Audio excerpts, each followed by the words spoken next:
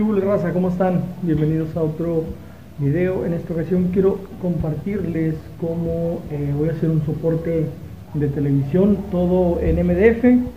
Y eh, quiero compartirles que por este, este mueble, este mueble de televisión fue como yo empecé a esto la carpintería, porque pues, en realidad eh, pues no era carpintero antes, me dedicaba a otra cosa. Y por este mueble fue que pues comencé a, esto de la, de la carpintería. Así que se los quiero compartir porque es un mueble que ahora para mí pues es uno de los más fáciles y eh, pues es muy eh, digamos que en su, eh, momento se vendió mucho este, muy económico y pues les puede funcionar. Entonces así que para que se queden a ver el video y pues ojalá que les guste. Así que comenzamos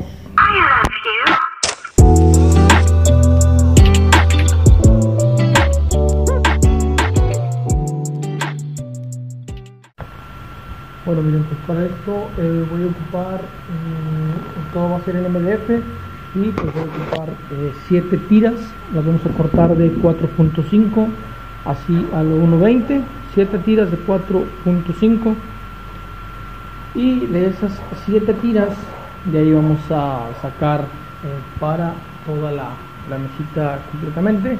Esta mesa mide 90 centímetros de largo por eh, como 75 centímetros de alto más o menos. Es para una eh, mesa de perdón para una televisión de 43 pulgadas más o menos.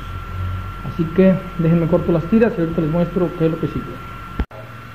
Bueno pues miren aquí ya tengo eh, cortadas mis 7 tiras.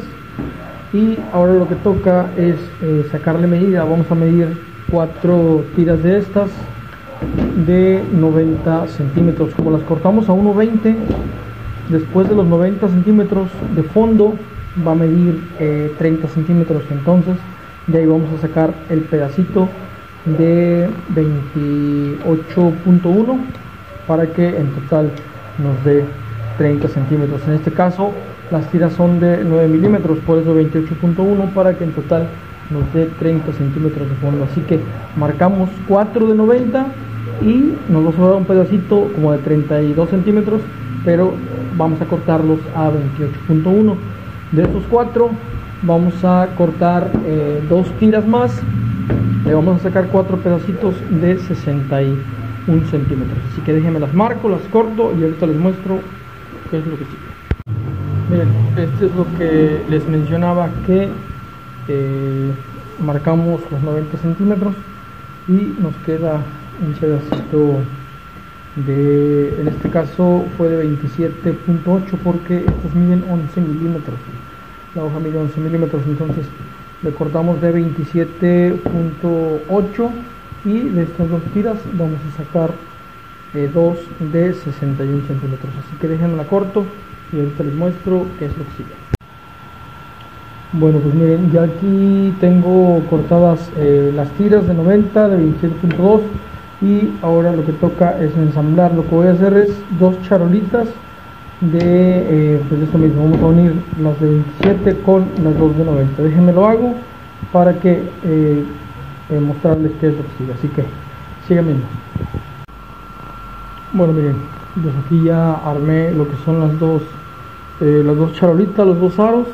Y ahora lo que toca es poner las de 61 centímetros. Lo que yo hago es cortar una tablita de 20 centímetros. Esa es la que va a ser eh, digamos que la medida o nuestra referencia para no estar ahí midiéndole con el flexómetro y tanto una más hay que ponerla al ras y eh, la tira va a ir digamos que por dentro y ahí es donde vamos a clavar eh, la tira de 61 así que déjenme eh, las clavo las cuatro y les muestro que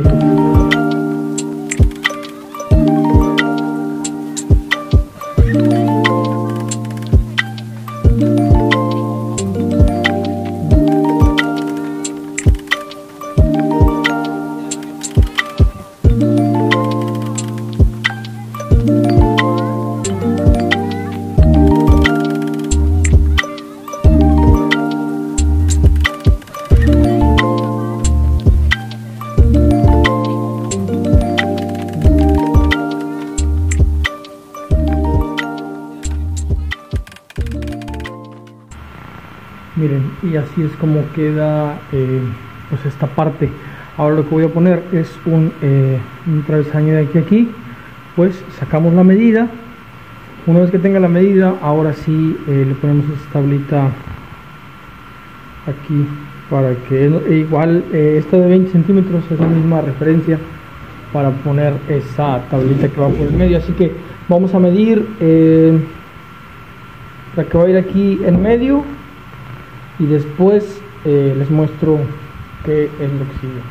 Entonces déjenme la mido eh, la pongo y ahorita eh, les muestro que pues ya sigue para forrarla así que para que sigan viendo.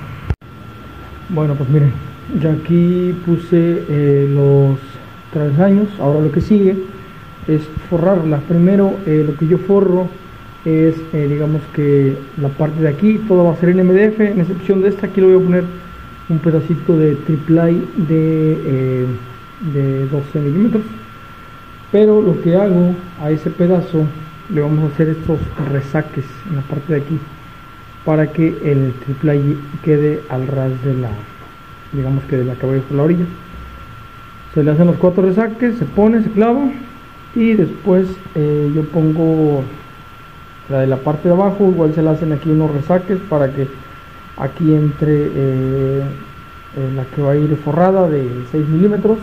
Después de este forro las de las orillas y por último forro la de arriba. Así que déjenme pongo eh, la que va aquí y les muestro cómo son los resaques y igual así les voy mostrando parte por parte. Así que síganme Miren, les recomiendo que para los resaques, ya sea el grosor de la tira que ustedes quieran usar o eh, digamos que el, ancho, pues aquí son 4.5 por 11 milímetros. Entonces les recomiendo que solamente hagan esto y empiecen a marcar las esquinas, ahí, las esquinas de, eh, de cada, o sea, las cuatro esquinas pero con una tablita de estas para que sea ahí donde lo vayamos a recortar. Así que dejen los cortos y ahorita les muestro cómo queda esa recortada las cuatro esquinas. Miren y así es como ya quedan eh, nuestras cuatro esquinas recortadas así como les dije. Y lo vamos a poner para que vean cómo está el show. Miren esta es la idea de que eh, le cortemos los resaques para que quede al ras por los dos lados y pues igual que nos quede al ras acá de este lado. Así que pues voy a clavarla. Después voy a hacer eh, vamos a suponer que estos mismos resaques pero pues aquí le vamos a aumentar lo del cuadrito que se, con el que se clavó para que pues obviamente quede de esta manera pegado entonces ahorita les muestro igual cómo hago este estos resaques para que no se les dificulte. Déjenme clavo la, de arriba resisto el clavitos y después sigue la de abajo. Miren aquí ya le hice yo los eh, resaques de digamos que de las patitas de, de la mesa. Lo que yo hago es cortar eh, vamos a poner que voy a cortar eh, yo con la sierra pues obviamente que entre la sierra y de aquí pues lo voy rebajando poco a poquito hasta que ya nos dé eh, digamos que donde va a entrar la patita. Lo que pueden hacer también es con dos eh, sobrantes pues de la misma medida así empalmados. Igual podemos eh, sacar la referencia de cuánto es lo que vamos a meter la sierra hagan de cuenta que algo así es donde va a entrar la sierra más o menos. Digamos que está esta altura por ahí más o menos. A ver déjenme lo hago para que tengan miren. Hasta aquí es donde entra la sierra. Y pues ya se le va rebajando modo ustedes los cuadritos. Déjenme lo corto y ahorita les muestro cómo se miren así es como ya quedaron los, los recortes. Ahorita no los puedo grabar como lo hago porque no tengo este, olvidé traerme el soporte para el teléfono pero hay otro video de otra mesa similar pero el diseño es diferente. Parece que ahí sí muestro cómo es que hago este recorte con la sierra esa circular. Entonces es decir como como nos tiene que quedar. Después pues ya lo vamos a meter de esta manera. ¿Mm? Qué hule qué hule papá y así es como nos debe de quedar. Con esos resaltes. Así que después de esto vamos a clavarla echarle resistor y de ahí sigue lo de las orillas. Y ya por último lo de la parte de arriba. Déjenme hago todo eso. Y les muestro cómo es que se ve ya todo miren y así es como ya la terminé de forrar completamente. Ahora lo que toca es lijarla resanarla y pues ya ahora sí pintarla. Pero pintarla este yo creo que ya mañana porque ahorita ya son las 11 con 30 minutos. Entonces ya creo que es hora de ir a descansar. Pero así es como ya quedó. Yo la lijo solamente digamos que esta parte de atrás así la dejo sin lijar o le doy una lijadilla leve pero le doy prioridad a la parte digamos de adelante porque pues si pinto ambos lados, al que tú la pongas, eh, ya sea así como está o al revés, es la misma figura, es la misma forma, entonces no le veo mucho sentido de lijarla o dejarle el mismo acabado por ambos lados, mi punto de vista. Y si ustedes lo quieren hacer, pues igual se puede hacer, se puede lijar por los dos lados, resanar por los dos lados y que el mismo acabado, digamos, que quede en todo el mueble. Así que pues déjenme, lo voy a lijar, lo voy a resanar y si Dios quiere mañana la pintamos. Así que como la ven. Sigan viendo. Y pues bueno amigos, así es como ya eh, terminé, eh, pues digamos que al día siguiente eh, la mesa. Y pues este, pues, quiero compartirles que con este mueble fue con el que inicié con esto de la carpintería porque les cuento bien rápido. Tengo otro canal, igual en YouTube, que se llama Los de la Cherokee, por si gustan ir a apoyarlo, gustan ir a suscribirse. Ahí subí un video de que se llama Los Cabazos, y en ese lugar venden muchas artesanías, venden muebles, venden eh, como que de todo para decorar. Y ahí comprábamos estas mesitas, pero la verdad que de muy mala calidad, muy baratas, obviamente, pero de muy mala calidad. Entonces, eh, pues yo y mi esposa nos dimos a la tarea y dijimos, ¿por qué no mejor tú las haces?